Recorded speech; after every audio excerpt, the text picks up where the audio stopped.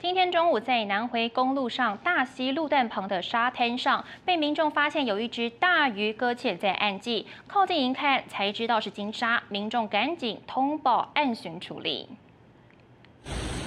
画面上看到这只搁浅的金鲨，台湾俗称为豆腐鲨，体长约四点九公尺，宽一点八公尺，还算是未成年的体型。成年体型长度平均约九点七公尺，被世界自然保护联盟列为濒危物种。